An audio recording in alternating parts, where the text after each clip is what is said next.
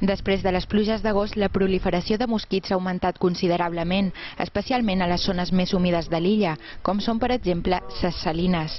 És per aquest motiu que s'han reforçat les tasques de fumigació a fi de fer front a aquesta situació.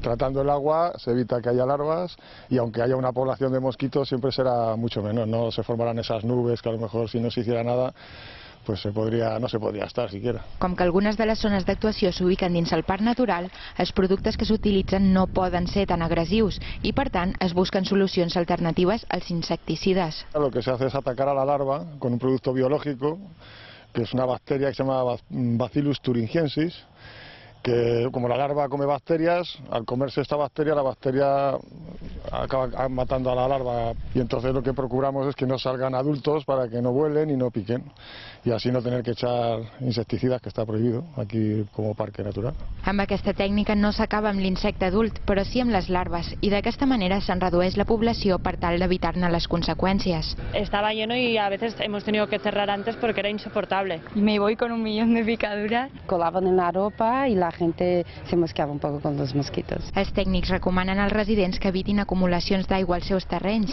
que controlin els nivells de clor a les piscines i que protegeixin amb malles els pous.